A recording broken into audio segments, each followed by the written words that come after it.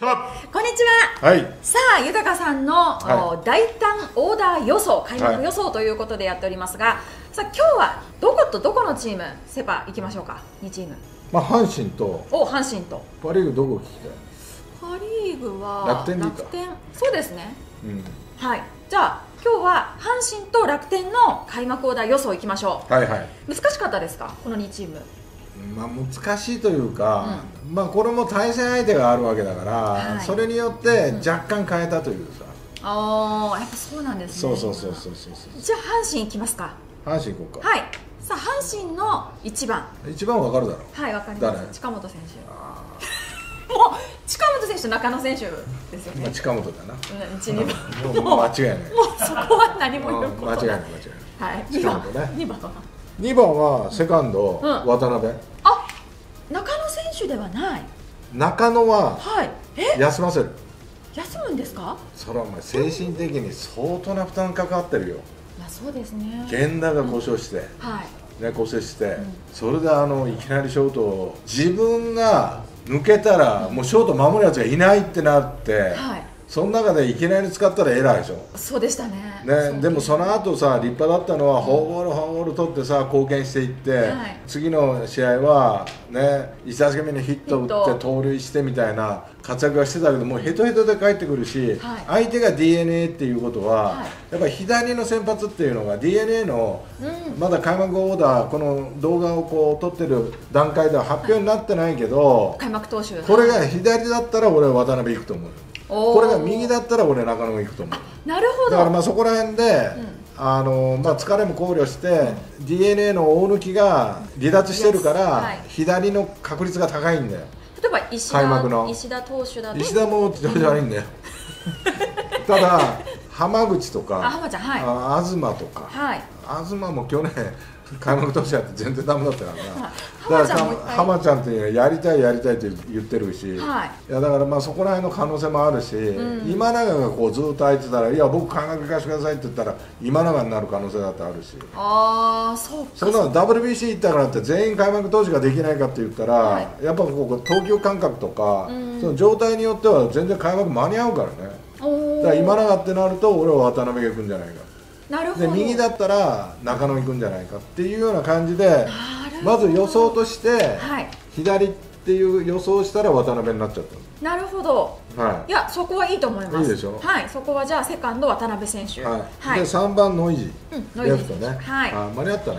いやスロースタートで言われてましたからね。足がどうのこうの特に。そんな痛いやかいや言っとったらもうすぐ返されるから、いや、そうですよ。ね、頑張って。ノイジー選手、ね。ノイジー選手はどうですか？こう開幕でやってくれそうというか、その三番で。まあ外国人ってさやっぱこう合法が鳴るとやっぱり目の色が変わってくるんだよね、はい。だからまあそこら辺に期待と、やっぱそこそこやると思うこの外国人。だからオースティンとよく似てて。はい。センター中心にもう両方こう打ち分けていくという。はい。だから無理して甲子園だからホームラン狙わないとかさ、うん。まあ、結構賢い人かなと思う。おお、じゃあノイジー選手がその近本選手だったりをこう返してくれるようなバッティングをしてくそうだねれると。いう。、うん。いやーもうノイジー美味しいよ。2人とも足速いからさ、ポンと打ったらゴンゴンゴンゴン帰ってきてる打点がいっぱいつきますあね。あもうまあまあ稼ぎだよチャリンチャリンって。ね、Thank you, Thank you ですよね。本そそしてまあ4番はねも大山、はい。これはもう明言されてるしね。うはい。うん。特にないですそう、もんね。ではい。5番はサード佐藤。そうですね。佐藤輝。はい。ね。さあそしてここからです。はいはい、はい。ここから、はい。大して変わらないよ6番、ライト森下。変わってますよここは。まあまあそりゃそうだよな、ここはじゃあルーキーが出てくると。うん、開幕スタメン。まあこの子の性格だったら、そういう開幕スタートできるっていうことを喜んで、はい。プレッシャーに感じずに、喜びを持って打席に立てるタイプの性格してるから。はい。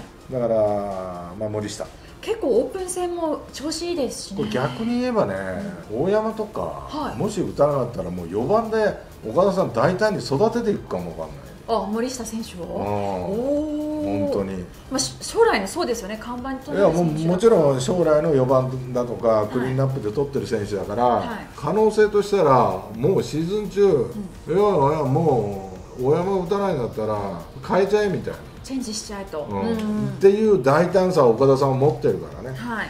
育てるといううん。意味ではね、はい。で鳥谷を育てたように。はい。監督が変わって自分が監督になった瞬間にもう鳥谷が変えて、あそこまでの選手にしてるから、はい。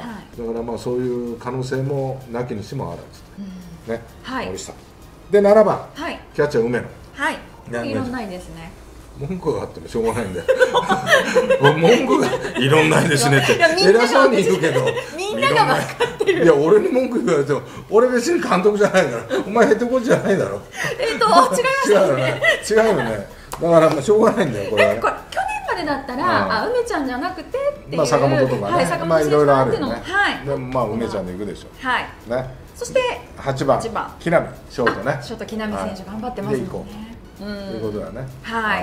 まあ小畑もチャンスがあったけどね、うん。木端の方がやっぱりバッティングの状態。木浪。あ木浪ね。木俣さんっつったらお前あの中日にいたな。あそうなんですね。知らない？木俣キャッチャー。あ知らないです。あ本当。あの小畑選手とあ木浪選手が一緒になっちゃったの？いやならないならない。ならないんだけどいやまあ木浪ね。木浪選手でこはいはい。こは行くと。そうそうはい。まあ小畑がはいもうチャンスあったけどもね、うん。まあ1シーズン2人で乗り切るって言ってるから、はい。ショートはね、だからまあ木浪からスタートかなっていう、うん。まあそれでいいでしょう。はい、はい。そしてまあピッチャーは青柳ね。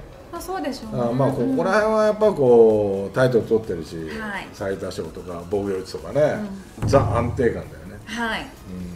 これ京セラで始まるのかな？じゃあ雨は大丈夫でしょ ですね外土砂降りかもしれそうそうそう。ないですけど。あのね阪神ははい。D n a に対して去年相当な負け越しを食らってんだよね。だから相当最初開幕戦では力入れてくると思う。ここだけは、はい。岡田さんゆっくりスタートでいいって言ってるけど、やっぱこう我々の課題っていうのは d n a に対して勝ち越していかなきゃいけないって言ってたから、はいだからここら辺の開幕3連戦ってのはガチンコでやってくると思うよ阪神は。うん。ね、うん、二だから、まあ、ここら辺はあの阪神を占う意味でも、はい。で d n a を占う意味でも、あの見逃せないカードだよね。そうですね、はいはい。注目のカード。やっぱカモにできるのか今年もね d n a が、それともカモにされないでいくのか、それによってはもう全然阪神はバーンいっちゃうからね、そうですね、うん、だか重ら要な。重要な3連戦ですよ。開幕からね。そうですね、はいはい。さあパ・リーグです。はい。パ・リーグ行きましょう。はい楽天。ねあー1番。はい。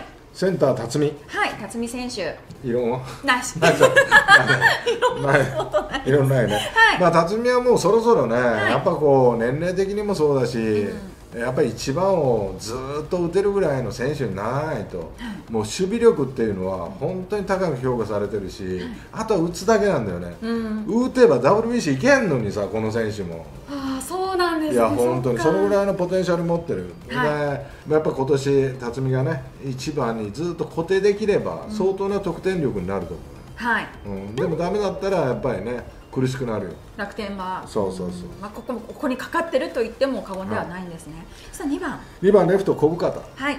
ね本当はショートで使いたいんだけど、なかなかね、まあ、ショートだと送球っていうことを考えるとね、はい。レフトの方が安定感があるというかね、はい、うん、まあしぶといしねこの選手はね、そこでレフトではい。小深田選手を2番に置く、はさあクリーンナップです。いで DH フランコ。はい、俺は右バッターを持ってきた。いうん、もうとにかく左が多い。んだよ。ずっと言われてますね。だから左開いてやっぱり12番なんだよ、ね、だからあの、まあ、フランコをここで持ってきて、はい。まあ、今年4番は浅村に打ってもらう。それはどういう思いからですか？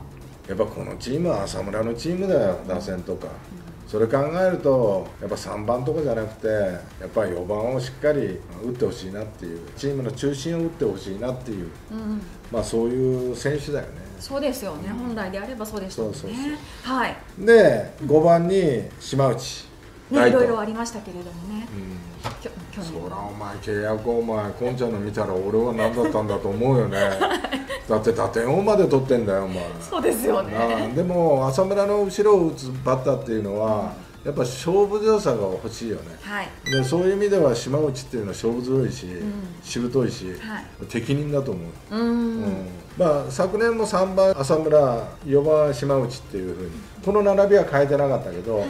まあ一つあのフランコをねあ入れたことで。上に持っていって、ちょっとこうずれるというね、はい、はい、まあ、そんな感じだよね、この3人がクリーンナップ楽天を打つと。うん、はい。で6番。はい。ファーストはギッテンス。はい。まあ、ここら辺やってくれないとねもうね、うんそうですね。楽天もやっぱり外国人不作なんだよ。ずーっと。そうですね。いつの間にか消えるという。うん。ね今年はやっぱこうちょっと頑張ってほしいなって思うよね。そうですね。あの日本の野球にマッチしてくれるといいですよ。ねいいよな。はい、はい。うんで、えー7番7番。サード鈴木大地、はい。まあ、安定感。あと気持ちとね。はい。いつもこの選手っていうのは危機感を持ってやってくれてるよね。でポジションがなくなる。だから打たなきゃいけないとか。はい。ね。まあ開幕投手、まあまあもうみんな知ってるから言っていいかな、はい。まあ、マー君、はい。マー君との相性も割といいんだよね。あそうなんですね。結構鈴木大地が打つの。だからマー君の子供は鈴木大地の大ファンだから。勝ち星 そうそう。そうそうそう まあそれだけかどうかわかんないけど、い、や本当に。へえうん。相性いいんですねそうそう相性が多分いいと思うんだよ、うん。だからまあサード鈴木大地。はい。ね8番。8番。キャッチャー太田。は太田選手はい。まあ太田もすごく成長してきたなって思うしね、はい。まあいつまでたっても住谷ではない。うん。ね太田と開幕をはい。田中ではい。もう組み立ててほしい。うん。ね。